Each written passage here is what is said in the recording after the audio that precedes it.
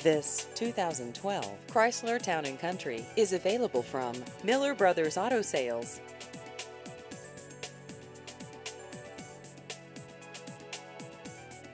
This vehicle has just over 2,000 miles.